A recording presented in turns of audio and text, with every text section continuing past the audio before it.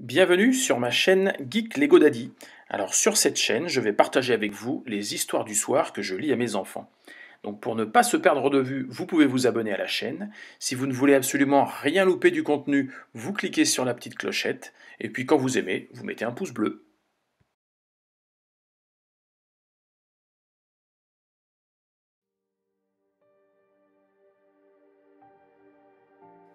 Aujourd'hui, L'épouvantail au cœur de paille de Beth Ferry et The Fan Brothers.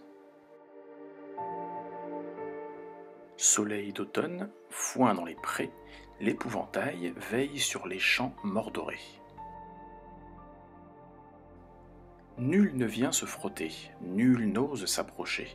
Le renard et la biche tremblotant, les souris, les corbeaux frissonnants, tous effrayés par l'épouvantail isolé c'est sa mission, son métier. Jamais il ne faiblit, jamais il ne plie, jamais de sa vie il n'a eu d'amis, car les créatures des bois guère s'approcher de l'épouvantail solitaire. Souffle d'hiver, neige de velours, pour l'épouvantail nul bruit alentour. Il songe à l'éveil du printemps, ses bourgeons, ses fleurs et ses chants. Soudain, quelque chose tombe à ses pieds. Étendu devant lui, un petit corbeau effrayé, peut-être tombé du nid ou trahi par une aile endormie. L'épouvantail prend une étonnante décision. Il fait craquer son piquet pour s'incliner au plus près et recueillir le petit oisillon. Il le blottit dans son cœur de paille, il le laisse y somnoler, il le laisse s'y installer, il agit sans la moindre hésitation et lui fredonne la plus douce des chansons. À l'abri bien au chaud, l'oisillon guérit. Quel étrange duo que celui de ses deux amis. Mais au premier regard, leur destin est scellé. Le corbeau grandira en même temps que leur amitié.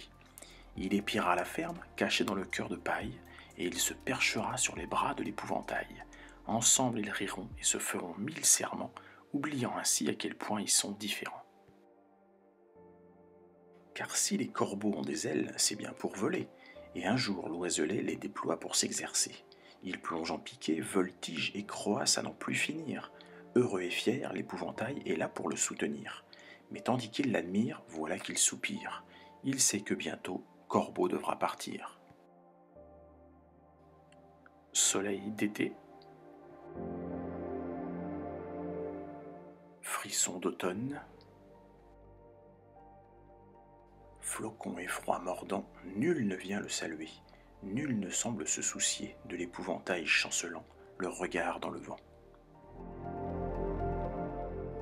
Cœur en miettes, piqué et coupé net, un grand vide lui dévore la poitrine.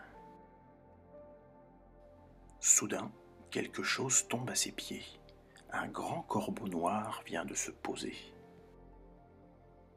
Les bras de l'épouvantail s'ouvrent grands, Corbeau déploie ses ailes et s'y rend. Joie dans les cœurs, comble du bonheur, un ami pour réparer le piquet brisé et rafraîchir la paille fatiguée.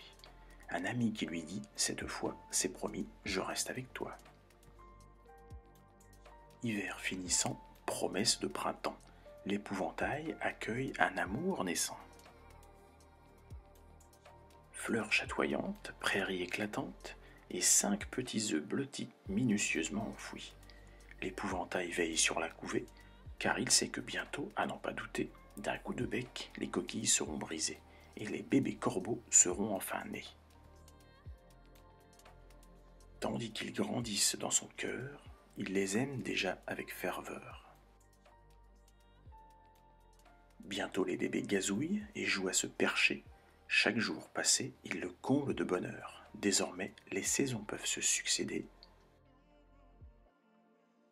L'épouvantail sait que les oisillons l'aiment de tout leur cœur.